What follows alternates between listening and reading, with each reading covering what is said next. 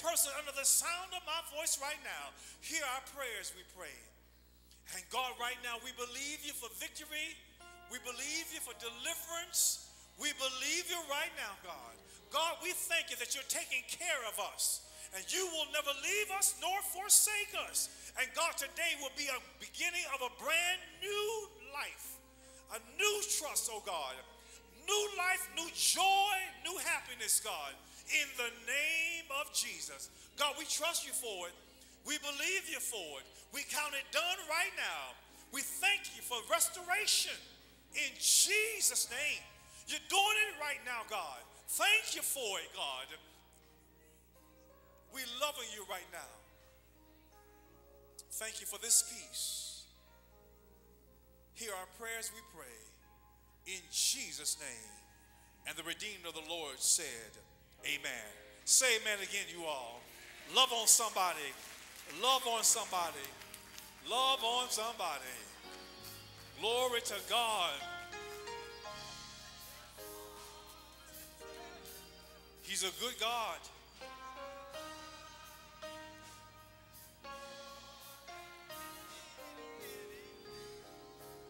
He's a good God.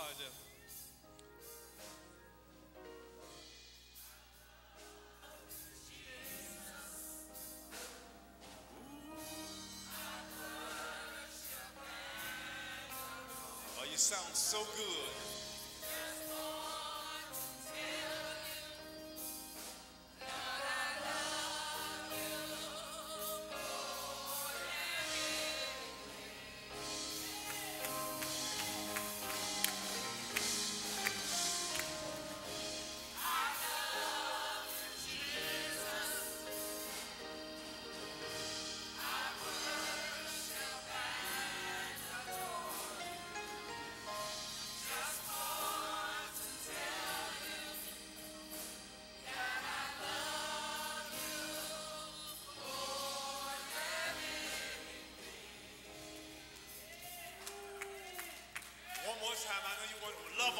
Everybody.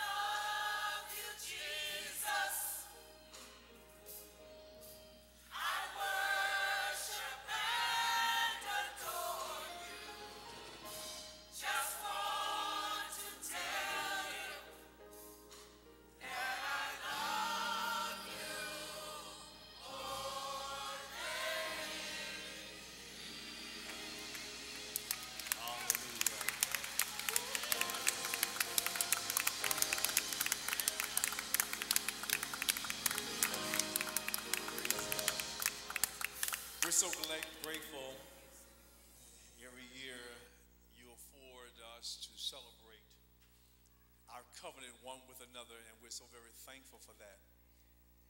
This begins the pastor's vacation. And so a part of that celebration is to have someone else to deliver the word of God so that I can receive as well. We're so very grateful for Pastor Eric Sanders. He has been a blessing to this faith community, he's under covenant with us during this season of his life, and we're thankful for that.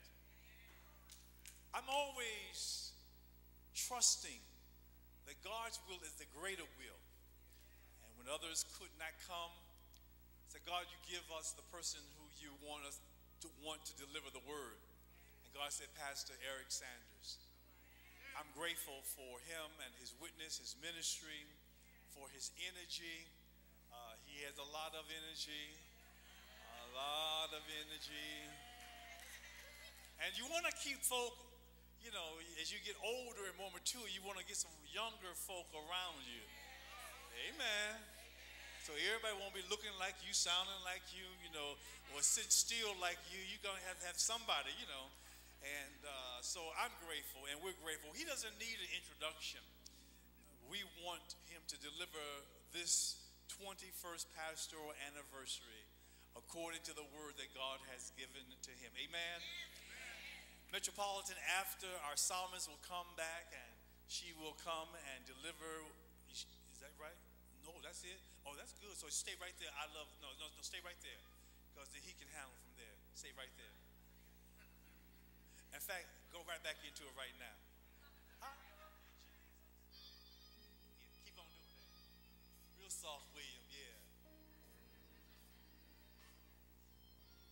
It up. The next speaking voice we hear right now. And we already know there is a word, but we want to ask Pastor Sanders as if he just flew in. And he did just fly in you know, early this morning from Las Vegas. but there's a word from the Lord, amen? And we want to make sure that there's a metropolitan. What is our question to Pastor Eric Sanders?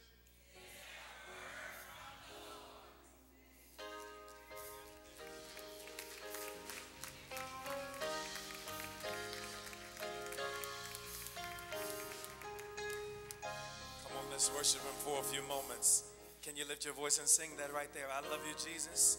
I love you, Jesus. And I'm gonna worship. Just wanna tell you that I love you so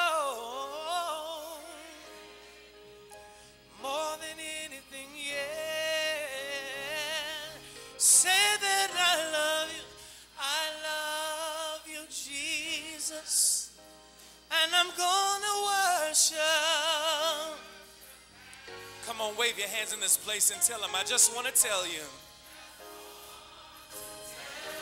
that I love you so much more than anything, yes. One more time, say, I love you. Hallelujah. Lord, and I came to worship. Just want to tell you that I love you. You mean so much to me, Lord.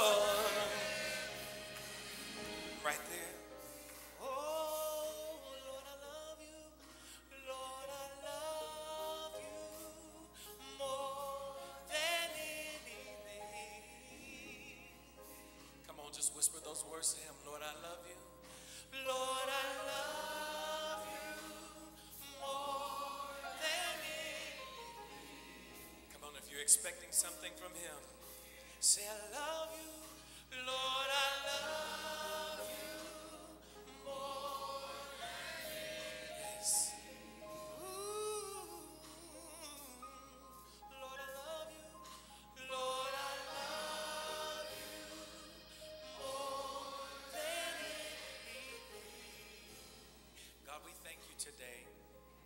We honor you because you are God. And truly today, Lord, we say that we love you more than anything. We love you more than anything that we have, more than anything that we could ever have. We love you, God, more than the air that we breathe. You're more than life to us. And we appreciate you. We honor you for your word. Thank you, Lord, that your word will go forth and have free course in this place. I ask, oh God, that you would anoint me in the name of Jesus, that you would hide me behind your cross. And when the people see me, allow them to see you. I ask that you would perform the miraculous in this place. In the name of Jesus. Let a yoke be destroyed off of someone's life. Hallelujah. And we bless you for it. We thank you for this servant, this man of God, this pastor that you've anointed for such a time as this. and our leader, oh God, and our shepherd. And we ask today that you would encourage his heart. Bless the man of God. Let the word find him where he is today. In the name of Jesus, I thank you, Lord, for the supernatural taking place on his behalf. Somebody that loved the man of God, come on and shout out. Come on and praise God for the supernatural taking place on his behalf. Hallelujah. We thank you in advance, oh God, for signs, wonders, and miracles. In Jesus' name we pray. Let the people of God say amen. Say amen again. Clap your hands and bless the Lord, everybody. Come on and bless him. Hallelujah. We truly honor the Lord for being here today and uh, his presence. We thank him for salvation. We thank him for the Holy Ghost. Somebody praise him with me today. Hallelujah. I want you to help me to celebrate our pastor, Reverend Leon Perry III. Come on, with a good shout and a good clap. I know you did it already, but come on, let's love on him all day. Come on, Metropolitan, stand to your feet and let's give it up for the man of God who feeds us every week. Come on, you can do better than that. Hallelujah. Hallelujah.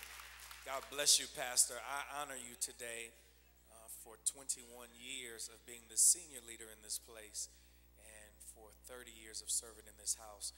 You all know that's a great accomplishment People don't stay on a job two years nowadays. Come on, talk back to me in here. Y'all know y'all skip a job, get mad with the supervisor, leave and go to another job. Come on, but no matter how mad he was with you, he came right back and preached from this pulpit. I believe we should praise God for that in this place. Amen. And we thank God for our assistant pastor, Reverend Person, today. Hallelujah. Bless you, Reverend. And for all of the people of God, all of the ministers, we thank God for you. I thank God my church mother from Locos is here today. Mother Childs, wave your hand. I love you so much. I know I'm gonna have to work work good today with her being in the house. I love you. And I want to say to Metropolitan before we go any further that I want to tell you all good suit on. I was trying to really be distinguished today. But I want to say thank you to this church.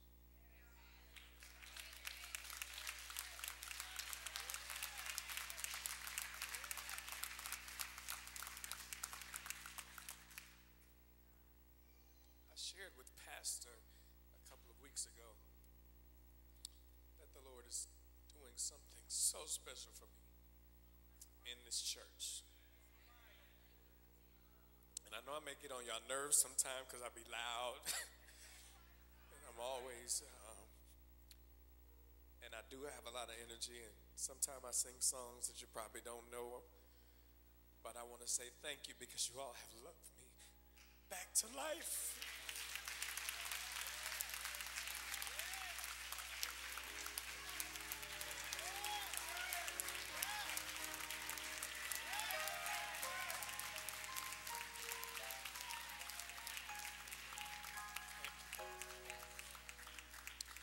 Never know what people are going through. And you never know why people are in your midst. But a hug and a smile and love goes a long way. And there is an overwhelming sense of love that I have been shown in this church. And I am so grateful to God and to all of you. Give yourselves a hand today. I'm honored to be here thank Pastor for giving me this opportunity.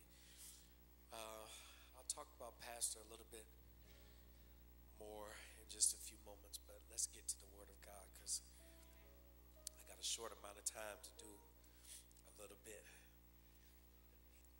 I ain't gonna, well, I am going to tell on him. He told me make sure I remember the time. Amen.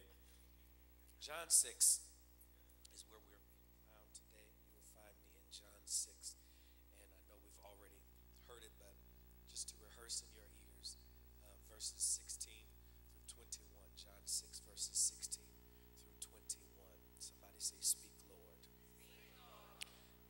Reads as thus it says, And when even was now come, his disciples went down unto the sea. They entered into a ship and went over the sea toward Capernaum. And it was now dark. Jesus, say Jesus, was not come unto them. And the sea arose by reason of a great wind that blew.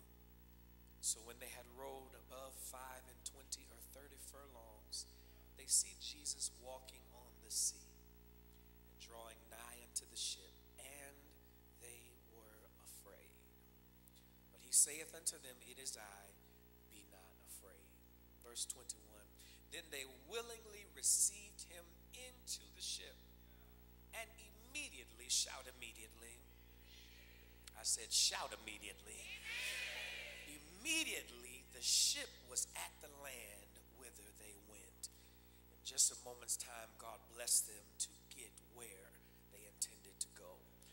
you would rehearse with me today, my subject, an opportune time. An opportune time. This word today, of course, is for our leader, but God is going to bless us to eavesdrop on his blessing. Amen.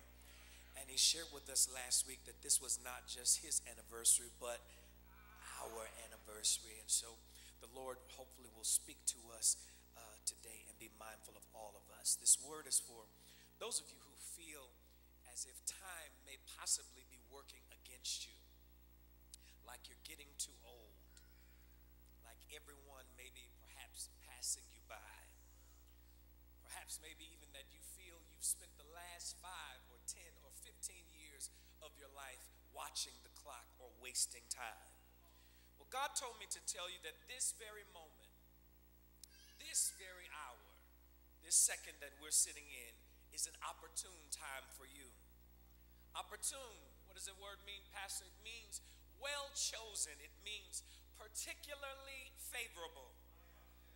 Opportune time is your kairos time. The Bible speaks about two different types of time, one being chronos and the second being kairos.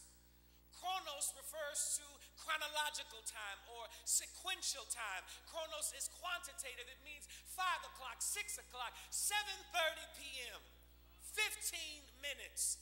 But the Apostle Paul spoke to us often of a different kind of time called kairos. While chronos is quantitative, kairos is qualitative.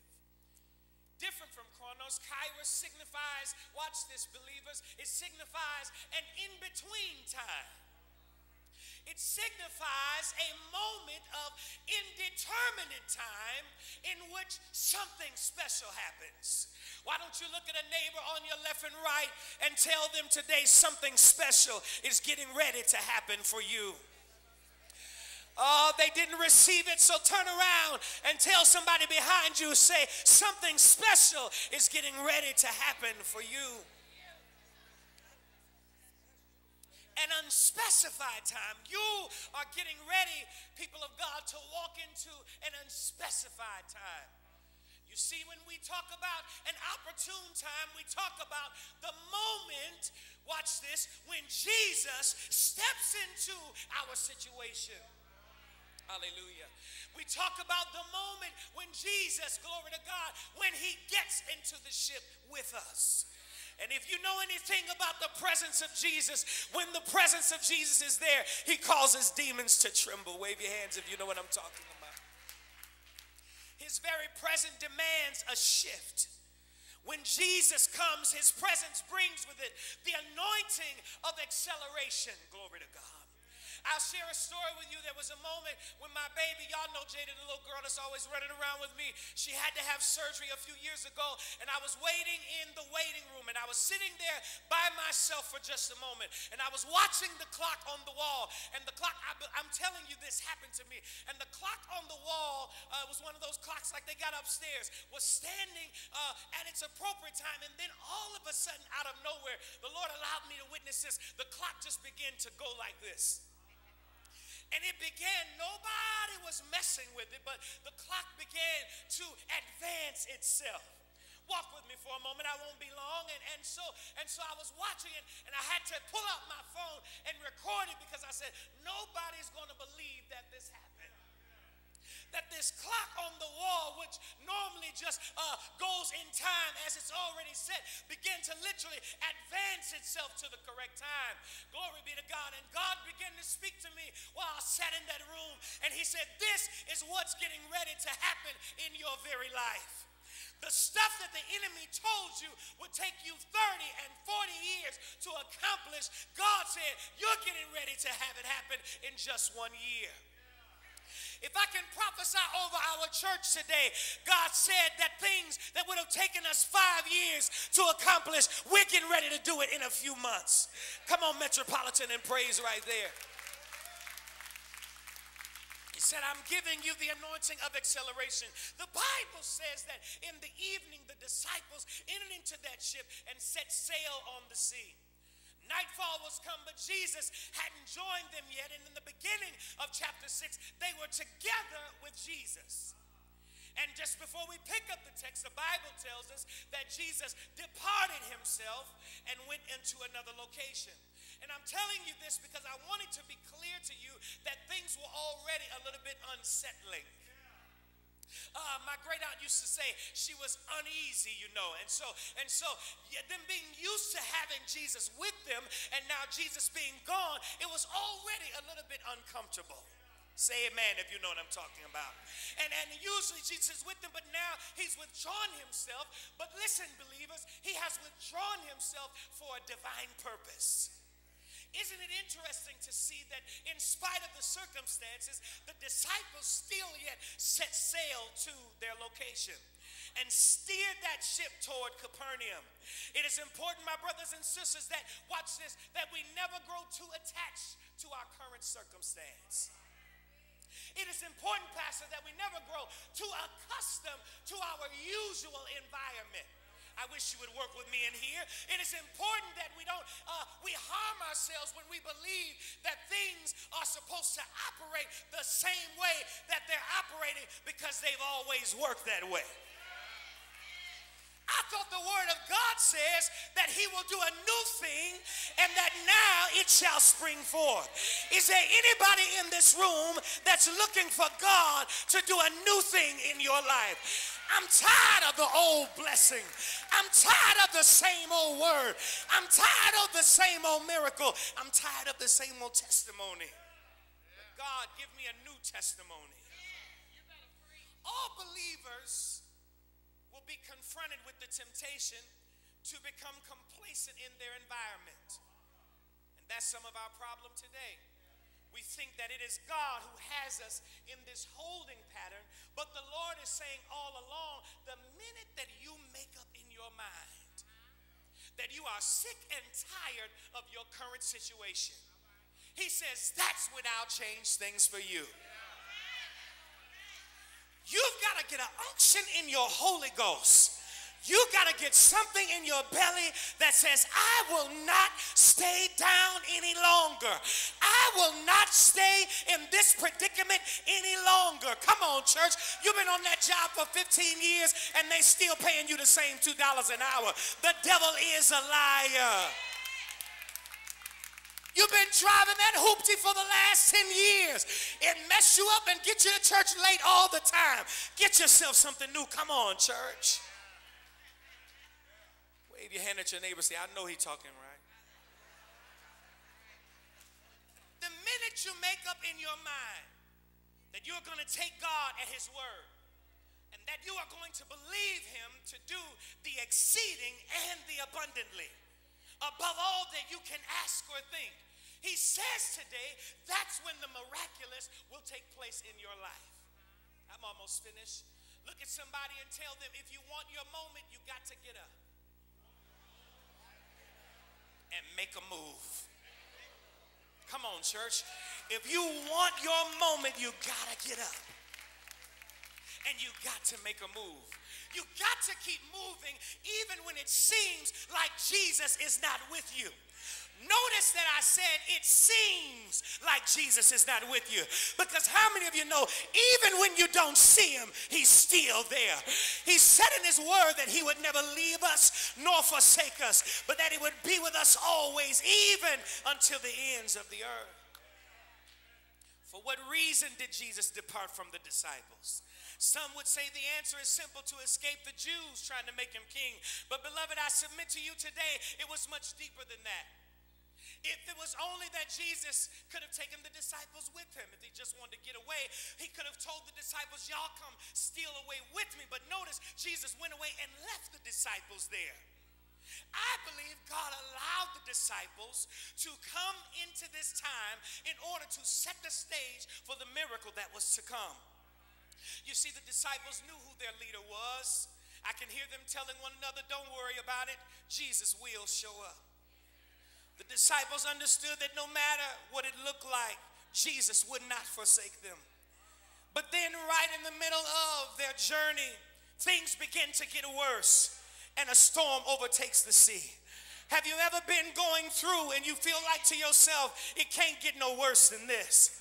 Surely I can't get no sicker than this. I can't feel no worse than this. I can't have no more callers, no collection calls more than this. And then something happened that make it even a little bit worse. This is what was happening to the disciples. They're already on the sea without Jesus. It's already dark and now here comes a storm. I would think at this point they start to point fingers at one another, saying things like, We probably gonna die out here. Saying stuff like, I told you we should have stayed on the shore. Come on, church. You know when things get bad, people start pointing fingers. You know how spouses are. You get mad, you know, you make the wrong decision, you tell your husband, You the one said do it. Come on. Wife look back and say, No, you said do it. This is what was going on. There was a little friction in the ship because now we're being rocked by the storm, and it seems like we'll never make it to our destination. We all, like the disciples, have a destination, a dream, a vision, or an objective in mind that we feel like we're not getting to it fast enough. We don't feel like we're making the progress that we should have made. Say amen, church. Glory to God. It feels like it's been held up from us, like the money is held up, like there's a block in the spirit. Darkness is set in, and the path seems unclear and confusing. God seems distant. It's a painful thing when God seems distant from you. It's a painful thing. You know how it is. Sometimes you come to church and as soon as you hit the door, you feel the glory. Yes, hallelujah, I can make it. But there are times when you're going through so bad, you come in and you're like, I don't feel like praising. If they tell me to lift my hands one more time, if they tell me to praise God one more time, I'm going to scream because it don't feel like God is listening. But I want to tell you that in those seasons that it feel like God is not listening, that's your opportune time and your opportune moment. Say amen, church. The word of God tells us that he is nigh unto them that are of a broken heart and save saveth such as be of a contrite spirit. What are you saying, Pastor? I'm saying if you're going through right now, you're in the right place at the right time. Yeah, what do we do, men of God? Like the disciples who traveled four miles to the middle of the lake, we've gone too far to turn around now. Oh, y'all ain't hollering back at me in here. We don't come too far to turn around now, man of God. We can't go back nowhere. What I'm gonna go back to? Come on, church. I'm already out here now. I got to keep on going forward. Say amen. We can't turn around now. We've got to keep going. And just like the disciples, I know the spirit of fear is trying to kick into your life and tell you that those are uncharted waters or uncharted territories or what's going to happen if you fail. But you got to tell the devil he's a liar and tell him, God have not given me the spirit of fear, but of power and of love and of a sound mind. Tell your neighbor, I got a sound mind today. You can't give up now. Every now and again, I promise I'm almost done. I got about six minutes left. Every now and again, when you're on the freeway, you feel like, glory to God, you feel like traffic is going too slow. Help me, Holy Ghost. And if you're like me, you become discontented when somebody is in front of you just going not even the speed limit. I got a little bad case of road rage. I'll be honest and stay saved this morning. You know, you know, and then you become frustrated. Are you hearing me today? And, and, and it makes you angry and you, you want to go off on the car in front of you. What were they doing? Why were they going so slow? Ain't even nothing in the road, ain't nothing happening up ahead. What's going on with this car in front of me? And I need you to understand tonight that although we've been taught to believe that frustration is of the devil, if I could just take you somewhere for a moment and tell you that